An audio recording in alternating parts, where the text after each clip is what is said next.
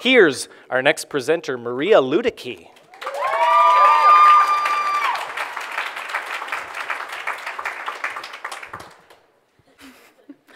This was me three years ago, about to go to one of the biggest nightclubs on the party island of Ibiza, Spain. I was slick with tanning oil, wearing an incredibly scandalous outfit, and I was clearly quite excited about the whole thing. What you don't see in this picture are the mysterious open wounds that were popping up all over my body. But I ignored them, making a mental note to buy band aids. Within a few days, though, the wounds had grown to large, swollen, open sores, making it hard just to stand up or sit down. What all started as a small rug burn had developed into what I eventually learned was MRSA, a dangerous staph infection. But that was not the end of it. In the next year, I contracted E. coli and parasites. I was diagnosed with an autoimmune disease, hypothyroidism. I had leaky gut syndrome and severe anemia. And after a year of antibiotics, I was still sick. Because the core problem was I had no clue how to take care of myself. In fact, I think many of us don't know how to take care of ourselves. We're quick, to, we're quick to pick up a prescription, quick to ignore stomach aches and treat pain with another Aleve. But at some point, our body will make us listen. My life started looking more and more like this, and I knew something needed to change. So, step one change my diet. In college, all I consumed was cottage cheese, Red Bull vodka, and whipped cream. I, re I really wish I was joking. And not surprisingly, I was always exhausted. I went from being a committed three sport athlete to feeling like I constantly had mono. So I compensated with several espressos a day. It helped that I had unlimited access at work. I very much had a band aid mindset. If I was tired, I just needed more caffeine. I never questioned what was making me tired, and not once did a doctor suggest that my diet could be the cause of my health concerns. So, step two build awareness. I started realizing just how hard it is to be healthy when our entire culture encourages something different. Every day we're exposed to 3,000 negative advertisements, and they're clearly influencing our lives more than we care to acknowledge. We've become one of the most addicted, stressed, and obese countries in the world. Today, being healthy seems like an uphill battle that requires extreme willpower or a whole lot of deprivation.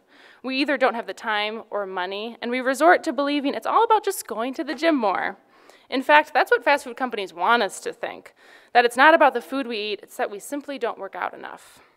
I recently spoke at TEDx UIUC on a similar topic, and at one point I wanted to say not the nicest things about Coca Cola, mostly that it's an industry partially responsible for the deteriorating health of our country. But Coca Cola was a sponsor of TED, so I was not allowed to mention them at all in my speech. Clearly, these companies have a lot of power. So, step three change the status quo. Yes, marketing has immense power. From the advertisements and commercials to the packaging of every product, we're told what to buy. But it doesn't mean that we can't use those same tactics for good.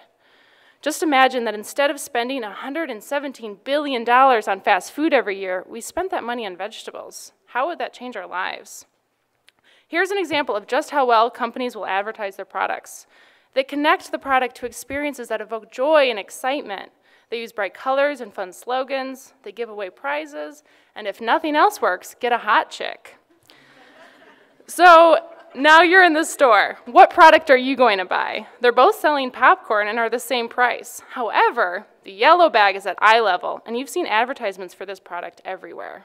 It's not hard, right? Why would we ever buy that boring gray bag of popcorn, even if it was the healthier option? For the record, I love Boom Chicka Pop. so let's make healthy food just as cool. Let's give lentils a chance to compete they can stand a little taller, look a little brighter, and maybe our children won't be as afraid of trying health food. We can break the stereotypes that healthy food is expensive, time consuming, and nasty. And the best part is that when we market healthy food, we're not going to have to convince people that it's part of a complete breakfast. Our job is much easier. There are so many wonderful slogans about healthy food, they never all be able to fit on one box. And some companies are already rebranding their products. Bolthouse Farms recently launched an extreme carrots campaign, making carrots seem as intense as fiery Doritos. Students even said the carrots seemed to taste better than they remember. so, what can we do? We can shape media. We can filter which advertisements we decide to pay attention to. We can choose which companies we want to support. Yes, marketing has immense power, but as the consumer, we have more. We can be intentional about our health and our lives. We can be aware of just how much we're influenced and be prepared to make better choices. We can stop ignoring the warning signs our bodies tell us and become proactive in finding what makes us feel our best. And we can make stuff that matters. I'm on a mission to help design a healthier world. I believe that design shapes behavior. And by rebranding health, I can help people live healthier and happier lives.